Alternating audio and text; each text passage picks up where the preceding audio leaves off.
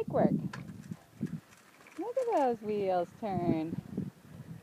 And Jacob likes to play with his stationary bike, huh? It's pretty cool. All right, get on. Show me the trick. No, no, we're not Skyping now. Get on the bike. Show me what you were doing. Jacob goes on it backwards. He's a trickster, all right.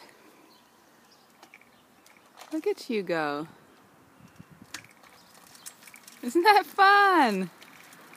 So Mike's put the bike where there's a little bit of a rut. So the wheel just keeps rolling and rolling. With But- Daddy. But you also go, Daddy went in town.